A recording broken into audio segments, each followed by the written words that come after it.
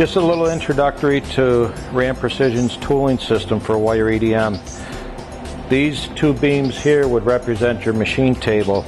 Uh, the actual bolt pattern on these are 25 millimeter center to center. Most common machines nowadays are 50 millimeter spacing. This is our main base, so you'd be using two of the screw holes for mounting it down. That'll allow you a little bit of shift if you want to reference it in one spot rather than another. There's about 3 8 thick material underneath the screws, so this way you've got good strong holding to the table. When you're first starting to fasten it down, what you're going to do is indicate your main alignment edge. Reference that true. This way, if you're using fixturing between a few machines, that initial referencing from machine to machine will give you consistency on your fixtures. This is one of our leveling adapters that you could use on that base. We also have solid ones. Mounting a leveling adapter to your fixture, whether it be a vise, V-block, you've got a pivot pin and a cam pin that would line up with these holes in the fixture. The larger fixtures, we use three 8 millimeter bolt holes to mount the fixture to the adapter. The smaller fixtures we use four 6 millimeter bolt holes. So there's two different bolt patterns that you'd be looking at based on the fixture requirement. And with the fixture just snug on the adapter, you draw your adapter into your base. The compound angle screw draws it first against your alignment edge, then against your stop pin, and then down on Z0. So you've got referencing repeatability from your single screw. Once your fixture is set, again with your pivot pin and your cam pin, you're able to adjust. You can see the movement. You're able to adjust indicating this in true. Once you've got that set true, you can finish tightening your screws. Now your fixture is true in the one direction. When you set your block in to set leveling, loosen these three screws and this larger screw turning counterclockwise will lower the fixture, clockwise will raise it. So this way you're able to get your indicating set in the one direction. Once you got that set, you just want to snug the screw that's right behind it. It's almost like a lock screw. And then you travel your indicator back and forth across the part, whichever is the high side, you'll start to draw down that screw, which draws the, the part down in the vise. Once you have that direction set, all you do is set the other screw, just a lock to hold it. With solid stationary jaw, part of the body on our vise construction, you've got a truer referencing edge. Less likely are you going to have to deal with so much leveling time as you would with a spring construction or a jaw that's bolted to the vice body because it's easier to make. And you can change from fixture to fixture in less than a minute's time.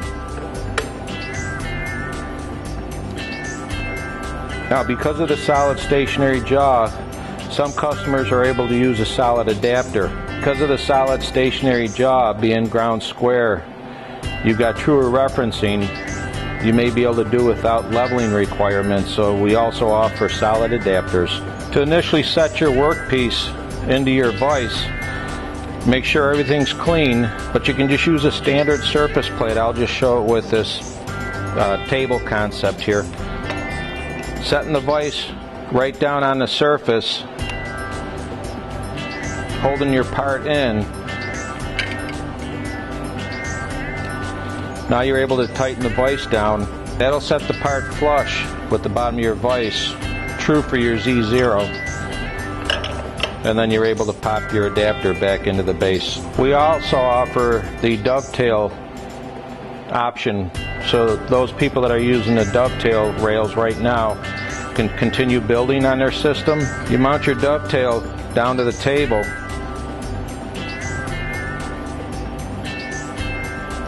and then indicate your dovetail in for your initial referencing. We also have the dovetail adapters to continue going with that type of a system.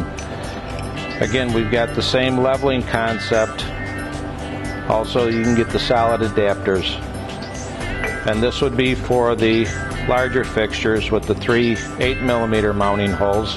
And the smaller fixtures, we've got the four 6 millimeter. But again, it's the same leveling concept. We offer two rails, two style rails. One would be a quick change rail where you've got your main base, again with your referencing in X and Y. The second base is strictly an alignment function. This way when you move your rail in and out of the machine,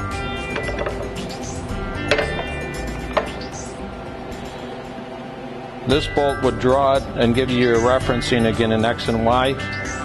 This would reference uh, your alignment factors.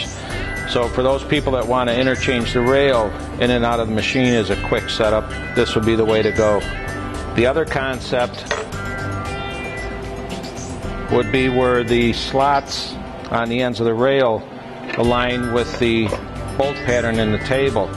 That would allow you to move the rail front to back. Say if you had a front table and you've got heavy plates that you're hanging off the table and you want to use the rail to support it. Both sides of the rail have function. The one side that has the teeth, it's for locking the rail vise on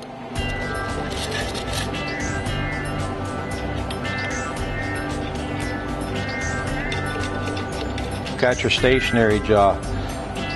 The way the rail is constructed, the insert applying pressure draws down and keeps the part tight against your rail body, which also contributes into holding strength. We've got some customers that like the solid concept, so for repeatability on the edge, they'll flip the stationary jaw around and use the second side to reference their part up to. The second side of the rail with the two rows of 8 millimeter tapped holes on the side of the rail and the thickness of 1 inch 450, you've got a good referencing edge that you can put larger blocks flush with the bottom of the rail and just using standard strap clamps, you've got a wide range of holding apart. It's very secure, but what you gain is you're able to trap your lower flushing. There's no interference, no crash zones on the bottom and you've got the same on top. This way you can trap your flushing, increase your burn rates, improve on your productivity. There's a wide range of attachments that go to the rail. Now here's one setup shown. You got your edges that you can mount your parts down, whether it be round parts or you can come off with uh, rectangular parts two different options here. This longer version puts the step at Z0, but now you've got interference with your lower head you have to watch for. And then there's a shorter version that the bottom of the fixture would be at Z0 and your step would be at Z of 150. We have a wide range of attachments that mount to the rail and then we've also got a wide range of V blocks and other types of fixtures to suit your holding needs. Thank you for your inquiry. I hope you enjoyed the video and it answered some questions. Uh, please feel free to contact us though with any other additional questions or any custom requirement and we look forward to quoting your needs.